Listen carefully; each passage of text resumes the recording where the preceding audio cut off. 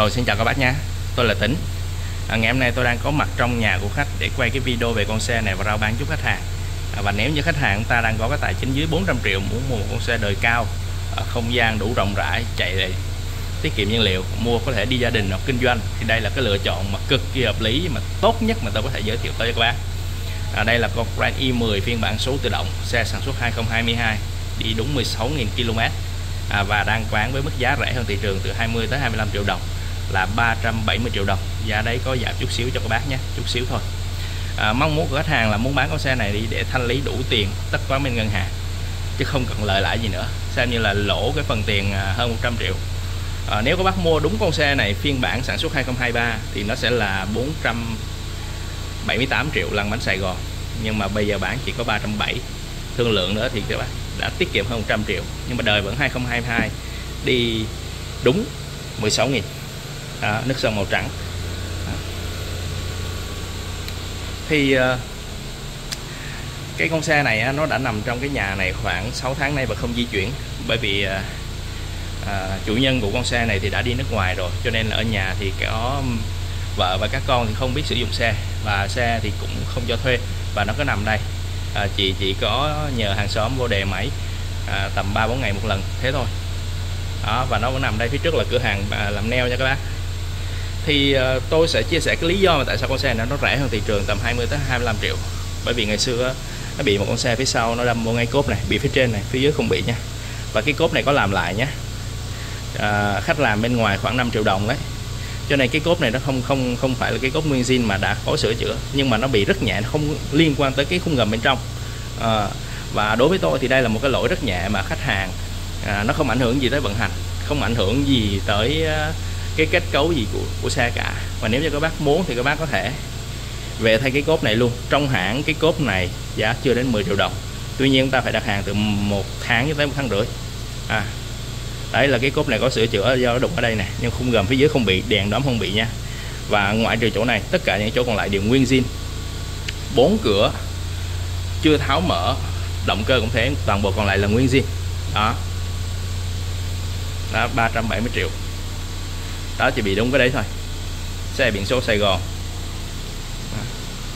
À, ngày xưa thì khách hàng mua đâu phải là để chạy dịch vụ đâu cho nên là nó mới ra cái biển số trắng là 51k sau này chán quá trống trải thì mới chuyển thành biển số vàng thì nó vẫn giữ là đầu 51k các bác mua về thì cứ đổi thành à, biển trắng mà xài nhé thì đây là bản sedan AT trong tất cả các phiên bản của i10 thì đây là phiên bản mắc tiền nhất nhé thì uh, phiên bản này khách hàng đã bọc da này các bác này, bọc da cái da này là bọc lại nha. Nó vẫn có cửa gió rồi cổng sạc điện thoại đầy đủ. Và các bác nhìn cái không gian rất rộng nhé. Đây là con mà hàng A mà rộng nhất rồi.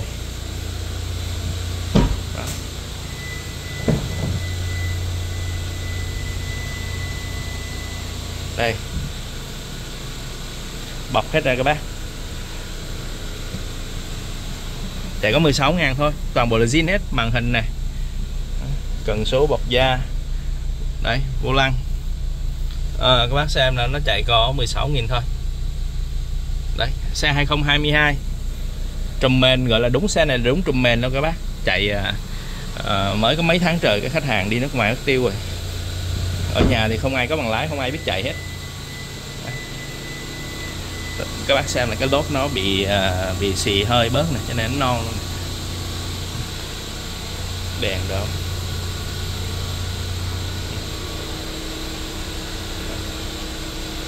trong này thì uh, bụi lắm các bác nhìn cái xe này. À, tại vì uh, đâu có ai sử dụng đâu về che mưa.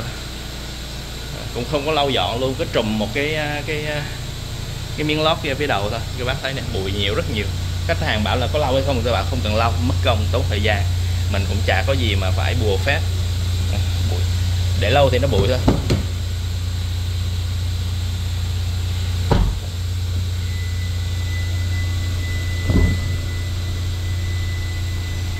Xe này thì đang vay ngân hàng.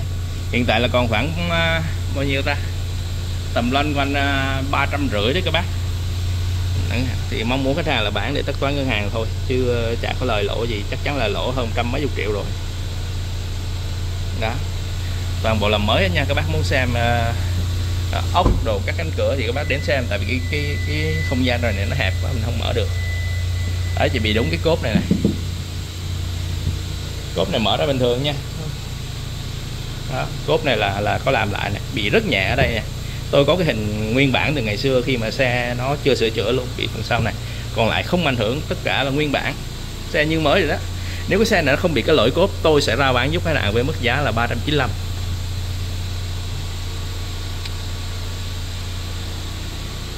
Đấy, xe máy 1.2 bản số tự động. À rồi các bác nào cần mua con xe này à, chúng ta mua để kinh doanh đi gia đình đều rất là ok ha.